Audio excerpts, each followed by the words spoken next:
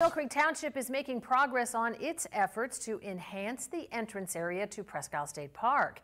Erie News Now Jamison Hixenbaugh checked in with Millcreek Township Supervisor Kim Clear to get an update on the Presque Isle Gateway project. On West 8th Street, the Presque Isle Gateway District project is moving forward. Millcreek Township is set to demolish the former Bel-Aire Hotel in December. The township is also putting out demolition bids for the former Grasshopper building after a consultant determined that it has no historical significance. For the Grasshopper building, yes, we did receive um, a report back from our consultant that we had do a deep dive into the historical significance of the building. And, and at this time, um, we are looking at uh, bids for demolition.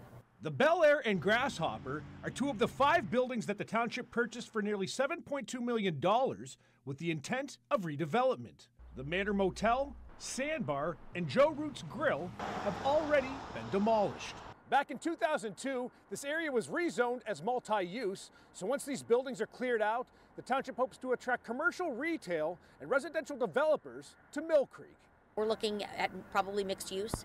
Um, you can, you know, think of things such as, you know, some shopping on the first level with some apartments on the other levels. We're thinking hotels um, and, um, and, and other places where people can come and stay an ongoing effort to bring more businesses to Millcreek. Jamison Hixenbaugh, Erie News Now. And the demolition of the Bel-Aire Hotel, where I had my wedding reception, by the way, is expected to wrap up next April.